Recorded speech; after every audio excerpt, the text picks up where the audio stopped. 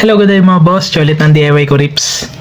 So, ngayon, ah, may papakita na naman ako sa inyong accessory para naman sa sasakyan. Yan. So, marami na tayong nakapending na for installation, no? More on unboxing lang yung mga ginagawa natin nito mga ah, nakaraang araw. Ah, pero meron na akong mga ini-install na, no? Pero yung iba kasi puro madalas sa motor.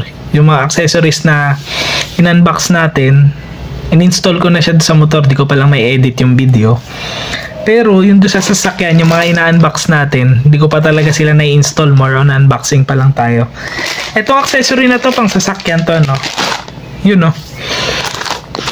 So, ito ay warning and welcome car door lamp. So, uh, actually, uh, para sa safety rin ito, no? Uh, kinakabit to sa pinto ng sasakyan para pagka binuksan nyo, uh, alam nung ibang uh, uh, sasakyan na meron nakabukas na pinto kasi iilaw-ilaw to.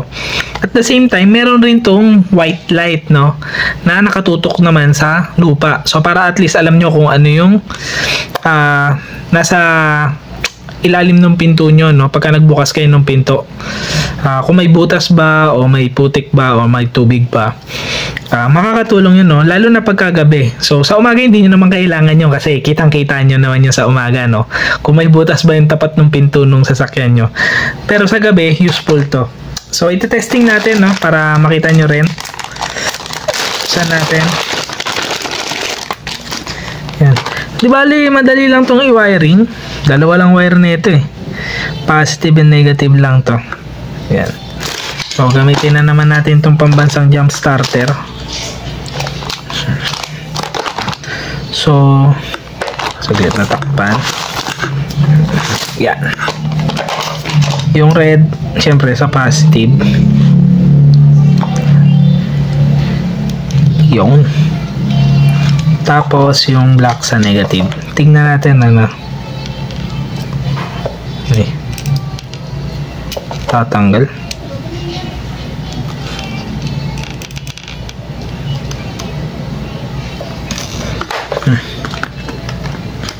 Ayan o. Oh. Yung kalahati, kulay puti. Yung kalahati, blinking. Yan. So ito kasi, pagka kinabit nyo to sa sasakyan nyo, etong kulay puti, nasa ilalim. Tapos, ito yung nasa side, tong kulay pula. Yan. Oh, Nagbi-blink-blink siya. So, pagka binili to, hiwa-hiwalay, no? Isang plastic, isang pinto. Pero meron silang set eh, parang nakakahon.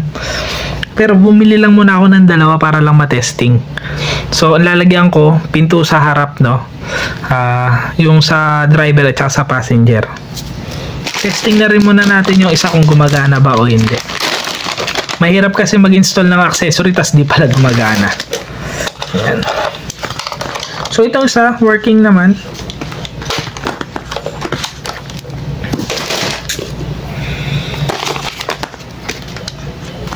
Ito naman yung isa.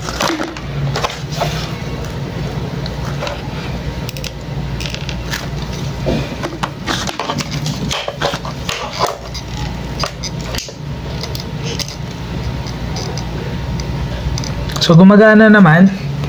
Uh, hindi nga lang as advertise ano. Kasi parang sa advertisement maganda. Ang mangyayari, pagka na-power up siya, gagapang mo na yung ilaw Pagka dumating na sa dulo, saka pa lang magbi-blink yung red. Yan. So siya, pagka ano, ilaw agad eh. Oh. Wala nang gapang-gapang. Yan. Pero, abangan nyo, no? I-install natin to. Yan. Uh, karamihan ng mga i-install natin ngayon do sa sasakyan, puro patungkol sa pinto. Magkakabit tayo ng charger sa pinto uh, safety lamp doon sa pinto. Yan, mga ganun na, no? Tapos, syempre, i-rewiring natin yung mga previous na in-install na natin doon sa sasakyan. Tignan natin, ano, kung hanggang saan yung aabutin ng pag-ayos natin ng sasakyan. Pero, ayan, puro unboxing muna tayo ng accessory. Yan. So, abangan nyo na lang kung ano-ano yung mga gagawin natin doon sa sasakyan. Uh, medyo mahirap kasing galawin yung sasakyan ngayon, kaya ang naaasikaso ko pa lang yung motor. Pero, plano kasi namin i-restore ulit yung mga accessory na kinabit namin do sa sasakyan. Papa, iaayos namin ano. Yan, so hindi ko na patagalin tong video na to, no? Ingat kayong lahat. Ride safe. God bless.